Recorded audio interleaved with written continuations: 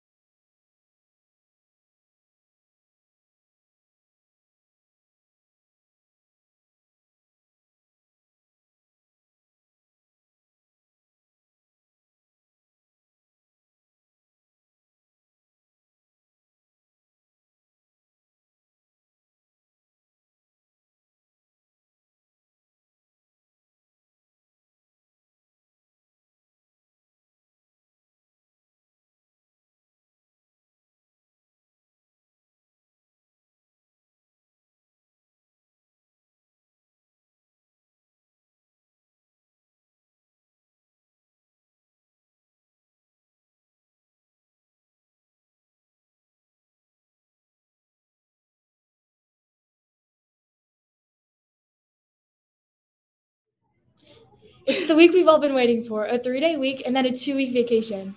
But we still do have school for a few days. Yep, so we have some news. The fun just continues this week with the Student Council Spirit Week. We love seeing you all in your holiday character costumes today, but we can't wait for the last two days. Tomorrow is PJ Day, which we all know is everyone's favorite. Please, no onesies and make sure they're school appropriate. And then on Wednesday, we have we have Blue and Green Day, and then our first ever Winter Bowl. A big football game is going on during sixth period on Wednesday, December 22nd, and the colors are blue and green. Here's how this works. If the last digit of your sixth period classroom number is odd, you wear blue. And if the last digit is even, you wear green. We are so excited to cheer on all the students who are playing. If you can't remember, just ask your sixth period teacher. The Student Council Toy Drive continues. Please bring new, unwrapped toys and drop it off to Miss Vanderwalker's art room. You'll get a free ticket to the Winter Carnival in January. If you have any questions, email Miss Vanderwalker.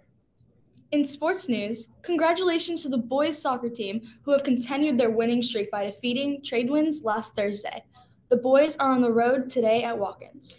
Well, that's all for us today. Stay tuned for more JMS this week. Have a great day, Mariners.